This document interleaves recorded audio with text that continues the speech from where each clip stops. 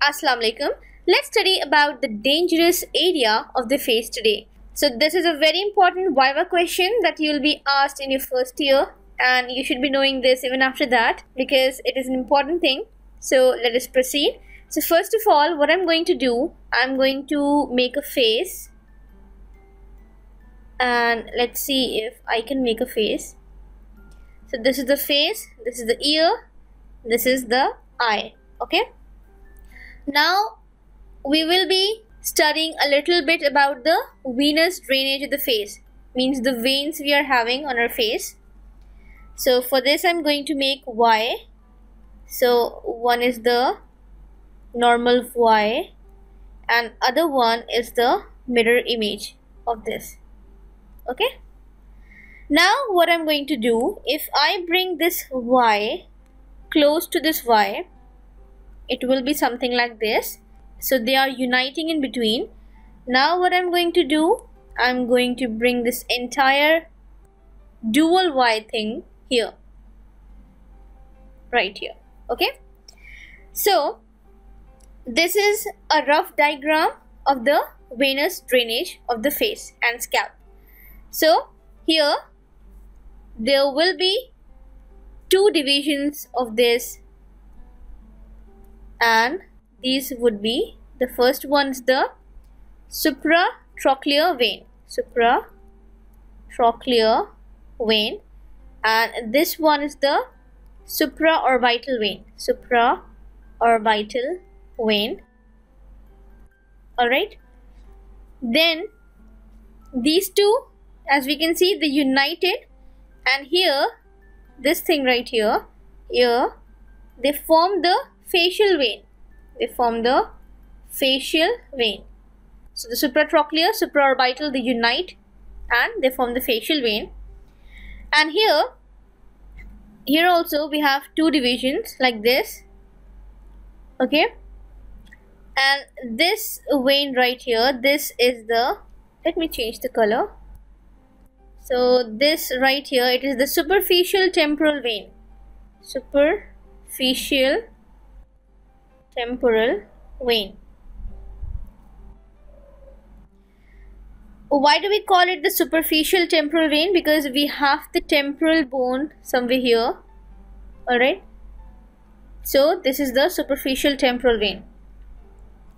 The vein which is in this area, it is called the superficial temporal vein. Now, here we have one more vein and this is the maxillary vein. Maxillary vein. Okay?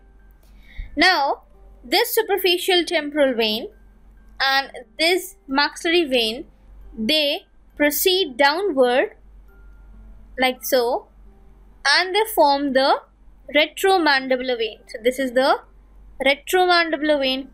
Retromandibular vein and then this retromandibular vein it divides into two divisions like so. Okay? So this is the anterior one and this is the posterior one. So it is called the this is called the anterior division of retromandibular vein first. And the second one is the posterior division of the retromandibular vein. Okay? So this anterior division it proceeds here and it joins the facial vein so it proceeds here and it joins the facial vein here and it continues downward and this is the common facial vein. Now we have the common facial vein. I hope you can understand. And this posterior division, it unites with this thing right here. This thing right here, this vein. This is the posterior auricular vein. Posterior auricular vein. It is called the posterior auricular because it is behind the ear. You can see here. Okay? So the posterior division of retromandibular vein unites with the posterior auricular vein and then it proceeds downward like so this one this is the external jugular vein so this is the external jugular vein. Alright, so let's have a quick recap. So we are going to make two Ys and one of the Ys uniting as we studied. Okay, so this is the structure. So this has two divisions. This is the supratrochlear, supratrochlear. This is the supraorbital, supraorbital. They proceed downward and here we have the facial vein. So this is the facial vein. We have the facial vein and then this is the superficial temporal vein superficial temporal vein now it proceeds downward and here we have the vein here. This is the maxillary vein. Maxillary vein. And these two they come together as one and this right here is the retromandibular vein.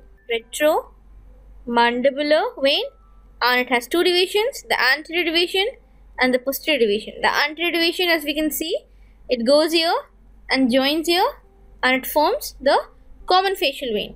Common facial vein.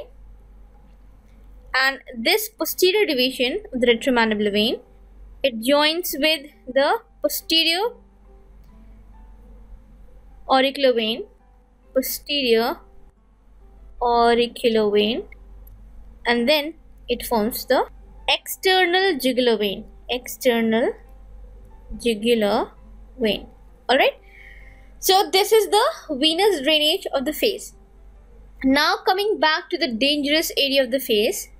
So the dangerous area of the face is the area which is drained by this facial vein. So we can see this area right here. This area right here which is drained by this facial vein. This is the dangerous area of the face. So what are these areas? Let us see in a different diagram. So this is our face. All right. So and we saw that this is the facial vein here okay? So it comprises of the lower part of the nose, then upper lip and the joining cheek. So we saw that this is the area which comprises of the lower part of nose, upper lip and adjoining cheek. That is the dangerous area of the face. So why is it called the dangerous area? Because this facial vein, which is here, this facial vein, it communicates with the cavernous sinus with two routes. So what is cavernous sinus? So if I draw the face, let, us see here only. So if I divide the skull of this patient into three parts, we'll have three divisions as so. So this is the anterior cranial fossa, this is the middle cranial fossa and this is the posterior cranial fossa. So here in the middle cranial fossa, we have a channel of veins. Means you can see a pipelines of veins. So many veins are here. And that is called the cavernous sinus. Cavernous sinus. So this facial vein, this one, it communicates with this cavernous sinus via two routes. Okay. The first one is through the angular or ophthalmic vein. The first one is through the ophthalmic vein and the second one is through the deep facial vein the second one is through the deep facial vein. Okay? So this deep facial vein first it joins with the pterygoid plexus of veins. First this will join with the pterygoid pterygoid plexus of vein plexus and then it further will communicate with this cavernous sinus. So these are the two routes by which the facial vein communicates with the cavernous sinus. Also, the facial vein does not contain any walls. so it does not have any walls and it directly rests on the muscles of facial expression so here we saw that we have some muscles of facial expression and this vein does not have any wall so when these muscles will contract so any infection which is present here or here in this vein or you can say infective emboli which is present here that can spread. So there will be spread of the infective emboli from the infected part. Okay so they will spread and they will reach where? Via any of these two routes they will reach the cavernous sinus and will cause thrombosis which can be fatal. So the infection will spread or it can spread and can cause thrombosis which can be fatal. So that is why this area is called the dangerous area of the face. So i hope this video was helpful. And yeah before you leave don't forget to press that like button and do comment subscribe and share the video. Thanks for watching. Allah hafiz